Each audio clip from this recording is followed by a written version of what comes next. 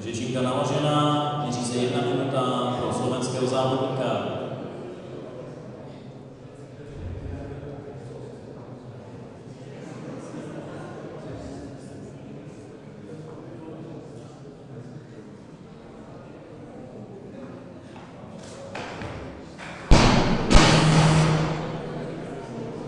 Tak bohužel závodníkovi se první pokus